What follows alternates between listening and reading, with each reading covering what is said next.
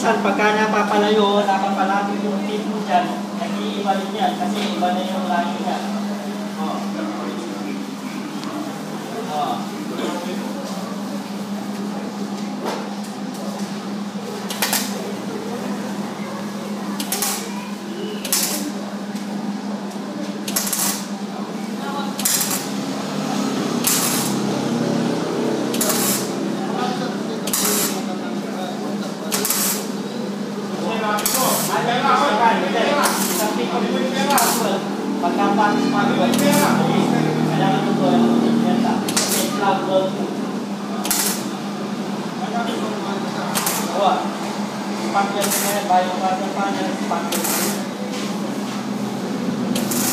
Ito mo na yung nakakabot dito ng sparkle, ito mo yung plug.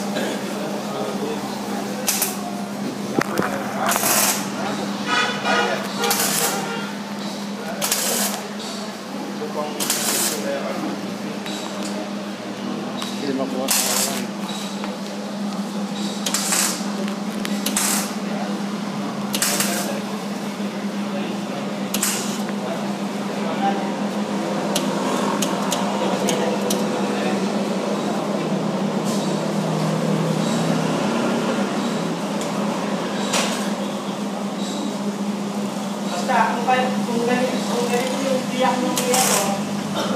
yan ang pinagtanong na namin. Pag nag-welding kayo, hindi pa ganyan. Tayo naman yung ganyan.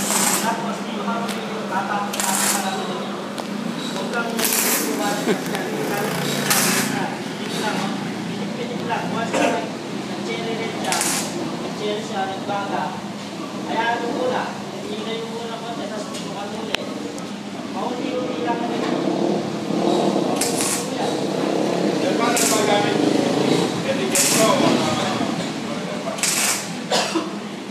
pagka bago-bago ka doon, kailangan mas talaga. Kasi gusto nila mas talaga.